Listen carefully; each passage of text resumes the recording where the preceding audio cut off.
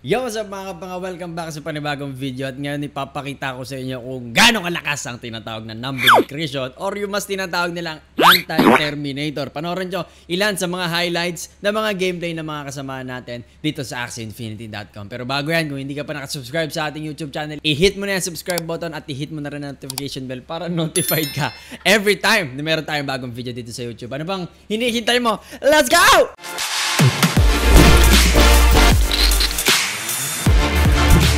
So, eto na nga mga kapanga.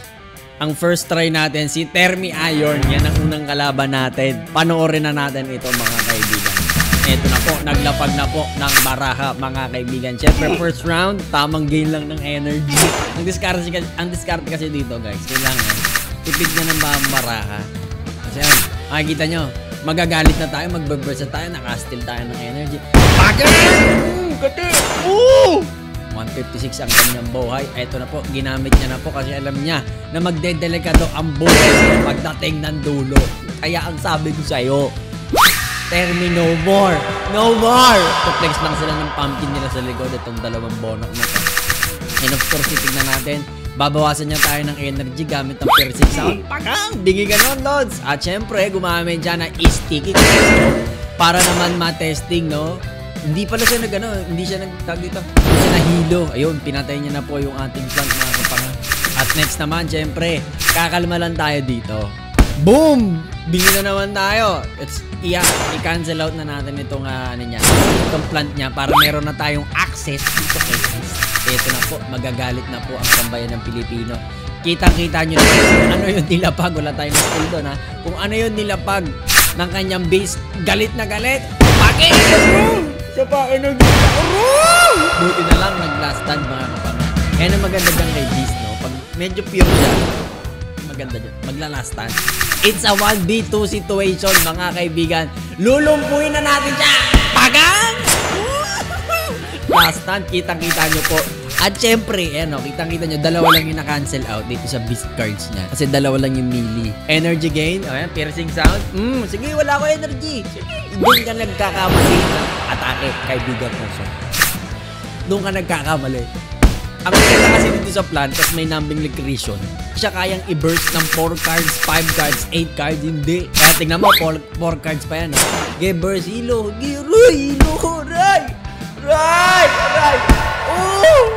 May hilo pa, ray! Buti na lang, nag-isip si Trisha Molina para matanggal ang kanyang hilo. Eto na po, bagang! Wala na nang magagawa, idolo! Isa pa! Bagang! Wala ka na magagawa, idolo. Tingnan mo. 30 pa more. Bagang. Isa pa, sige. Bagang. Eh, lumpo pa rin siya. Lumpo ka pa din, idol. Lumpo ka. Ooh!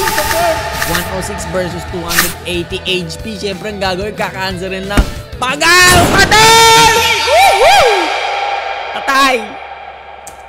Kitang-kita niyo mga kapangayan ng powerful ng numbing lecretion. Let's go! Next round, si Sprikitik version 1 versus Sinigeng. Ito na po yung meta. Ayan, etong, etong mali nila, nakatapat sila ng puro melee. Nakikita nyo dalawa, dalawang aqua niya melee. Pati yung plant niya melee. Pero tignan natin kung ano ang mangyayari. At pag gumagamit ka kasi ng aqua, most the time, kailangan tangkihin mo na, bambuhin mo na kagad yung plant nila. Kasi mata- mababa ang damage ng aqua going to plant. Tinatry po natin na ma-cancel out na ang kanyang plantito para wala nang mapakinabangan. Pero we fail to manage to do that mga kaibigan. Ito na po the next round. Round 3 mga kaibigan. Ang una nating ilalapag magbabawas tayo ng baranya by this card. Yata bawasan. Bagang at nakahil po siya mga kaibigan. Naka-gain siya ng energy gamit ang karot at dalawang karot ang kanyang ginamit. Hindi niya pa rin mapapatay ang ating planting to. Ito na po mga kaibigan ang sinasabi ko talaga. I-brush out niya na ang ating plantato. Magkagain siya ng energy at hindi pumasok yung angry lamb. Siguro galit na galit na siya ngayon. Ito na ang unang pilay. Tanggap mo. Spring Kid Egg. Dalawang, anong tawag doon? Pirana. Dalawang pirana. Siyempre, cancel yon cancel yung shell slab niya. Tapos ngayon, papatay niya yung beast. Another 2v1 situation, mga kaibigan ko. So, ang magaganap dito, papatay na. Uy! Pamangkin ni Geos to, mga kaibigan. Sabi ko sa inyo, pamangkin ni Geos. dahil talaga nagkikritikan. Eto na po mga kaibigan, hindi mo kaya i-burst yan, iiilulo. Ako na nagsasabi sa'yo. Panonoorin na lang kita, panoorin sa akin. Yan, eto na po. Siyempre, pakunat lang ng pakunat, ganun lang ang meta. Tapos lumpuhin mo na, Lods. Ayan na! Bang! Ubusan po ang kanyang wala na siyang magagawa. Kahit ilang cards pa yung gawin niya. Yan ang technique dyan. So, susundatan mo, sundutan mo ng damage, sundutan mo ng lumpo sa kanya. Ang gagawin niya na lang dyan, manonood kung paano matatalo ang aksi niya. Bagang! Hmm, last 58 HP mga kaibigan bago mag Blood Moon Curse. Isa na lang. Lumpo ka na, idolo. Tagang! Ito na Blood Moon Curse, mga kapanga. Siyempre magdi-discard. Yung pangasar lang, tamang flex-flex lang. Kung ako sa'yo, mag-surrender ka na lang pag nakatapat mo ang Nambin Let's. It's another win by the Siligang Guild. Let's go! Up to our next match mga kapanga, it's another Aqua Beast plant build na merong heal ang kanyang plant mga kaibigan at meron din nga cotton tail ang kanyang beast. Ito na pinira na na talaga naman kasi talagang discard yan. Cancelin mo kagad yung plant para ma-access mo kagad yung mid lane. Cancelin mo kagad yung plant. Ano discard yan? At nag-hotbat, hindi hindi na siya makakatira ng kanyang uh, serious or vegetal bite. Kaya kita nyo nakakancel out. At nag-heal lang siya, pakapal-kapal lang, ganun-ganun lang. Siyempre, delaying tactics ang importante dito mga kapanga. Pero magagalit na siya. Magagalit na siya. Nag-3 cards na po siya. Dito sa kanyang base. Ayan, nauna siya. Upstream swim, tsaka sweep escape. Another Ronin! Piercing sound! Cancel out, cancel out mga kapanga. Pero tayo magagalit din. Dalawang nutcrack. Isa pang nutcrack. Mm, galit na galit. Galit na galit siya, Lord. Tingnan po natin mga kaba kung paano po makaklatch itong gameplay na ito. Aray! ko! Sakit-sakit. Pero buhay pa din po. 3v2 situation. Ang mangyayari, i-steal lang tayo. Yang 2v2 situation mga kapay, mga kapanga. Siyempre, kakancel out niya na yung beast. Kapag talagang na-open na yung beast mo, cancel na yung plant mo. Hindi, hindi na makakalusot at mabubuhayan. Another 2v1 situation. Gain energy, lumpuhan malala, yap! Pagang! As cancer ng bara. Boom! Wala na siyang bara. Wala na siyang gagawin kundi panonoorin niyo na lang mapatay ang kanyang beast. Pagang! Goodbye beast. At eto na po, eto na po ang magdidikta ng kapalaran. Mga kapang, kailangan mo lang magpakunat. Hindi mo kayang i-burst yan. Plant ka! A plant ako, aqua ka lang. Hindi mo kayang i-burst yan. Kaibigang moso. Tanggapin mo na ang katotohanan. Ibabato ko na. Pagang! Uy! Anak ni Gios! Nag-critical pa nga. Cancel out. Buti na lang. Nakawa ko sa kanya mga kapangarap. Sobrang nakakaawa itong mga ganitong gameplay. Na syempre, Blood Moon Curse na advantage natin na meron tayong energy kaya kailangan gagamitin mo na para mag-deal ng damage. Kasi baka mamaya kakapang-asar mo, ikaw pa yung madilan ng damage. Ayan. Goodbye! Bagang! Up to our next match. Let's go! Another victory! 2 minutes po. It's a 2 minutes gameplay mga kapanga. Ito na po. It's another match.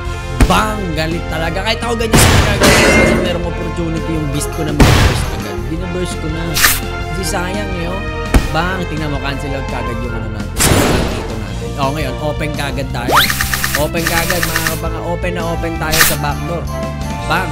Ang gagawin, tingala ng energy. Gumamit siya ng karo doon. Ibig sabihin, tingnan mo kung pamakin ka ni Jesus. Mahina ang pagdadasal mo kay Lord Jesus. Kita-kita po natin with another discard card. Tingnan natin kung ano. Ay, ba't di ako naka-full screen? Yan. Kung ano ang magiging epekto ng discard. Wala naman masyado. Kung gagawin natin, slipperies lang para kay Beast. Kasi ano na to eh. Consider as dead kay Beast. Kumbaga mamaalam na lang siya sa konseho. And then, try natin lumpuin ang kaso. Boom, patay pa din. And 2v2 situation, mukhang mamamatay na rin. At of course, alam nyo na yan, pag nawala na si Plan sa unahan na base, automatically, consider as dead na po yung ating beast. So ngayon, lumpuin na lang natin itong kanyang beast. Bang lumpo. Tapos ang gagawin natin, hindi siya makakatira. I-skip siya kasi alam niya mapapatay na to. Mapapatay. Baga, hindi pa rin siya titira. Hindi pa rin siya titira. Timira na siya, mga kapanga. Binurse niya na po. Ang pagkakamali niya, hindi mo talaga kaya i-burst. Lalong-lalong aqua ka. Ay, aqua ka. No, no, no, no, no. 69 HP mga kapangha. Tingnan po natin kung ano po ang dikta ng kapalaran para sa 69 HP na plantito po natin. Hmm, sabi ko sa'yo, hindi mo ka... Oh, 21 HP! Ito na po mga kaibigan ang sinasabi natin. Gumamit po tayo ng talaga namang pumpkin, dual pumpkin at isang. Nambing Legrecia, marapanga, patay ka na! Ano-ano na lang po natin dyan mga kapanga kung paano niya titikman ang galit at hinagpis ng isang nambing Legrecia mga kapanga 21 HP. Ano na kuya? Kuya! Blood Moon Curse na po. Kailangan na po nating mag-deal damage hanggang wala siya magagawa. Grabe yun, sir! Sana nagustuhan nyo yung ating mga highlight videos ng Axie Infinity. Kung gusto nyo pa makapanood maraming video kagaya nito, wag na wag mong kalimutan mag-subscribe sa ating YouTube channel at i-hit mo na rin ang notification bell para notified ka every time na meron tayong bagong video dito sa YouTube channel. Drop a like no kung talagang muhing-muhi ka sa mga Terminator at gustong-gusto mong magkaroon ng anti-Terminator. Maraming, maraming, maraming, maraming salamat sa panonood. Once again, this has been your boy! Naku. Stay awesome and keep smiling and I will catch you in the next one. Peace out! Let's go!